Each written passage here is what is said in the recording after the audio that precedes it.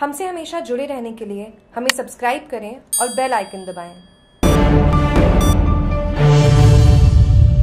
महिलाओं ने विद्युत बिलों को लेकर किया प्रदर्शन। विद्युत बिलों को माफ़ करने की मांग ज्ञापन सौंपा। कोरोना काल में विद्युत बिलों को भरने में असमर्थ लोग लगातार सड़कों पर उतर रहे हैं और राज्य सरकार से विद्युत बिलों को माफ़ करने की मांग कर रहे हैं। गुरुवार को बड़े हुए विद्युत बिलों के खिलाफ जालौरी गेट से बड़ी ईदगाह और आसपास की रहने वाली महिलाओं ने कलेक्ट्रेट के बाहर प्रदर्शन किया।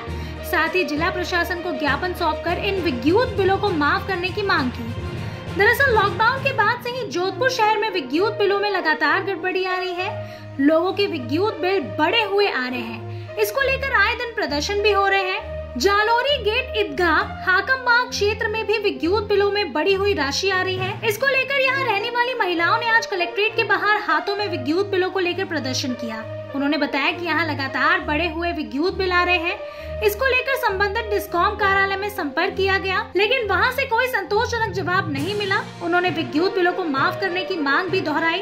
उन्होंने कहा कि लॉकडाउन के बाद से काम धंधे बंद है। ऐसे में विद्युत बिलों का भुगतान जमा करवाने में भी परेशानी आ रही है। उन्होंने विद्युत बिलों को माफ़ करने की मांग को लेकर नारेबाजी की और जिला प्रशासन को ज्ञापन सौंपा।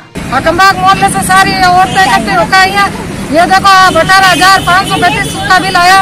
हमारे पड़ोस में उनका किसी का भाई ज़रूर का है। लॉकडाउन के अंदर काम वगैरह कुछ है नहीं। और हम इतना बिल भरवाएँगे कहाँ से?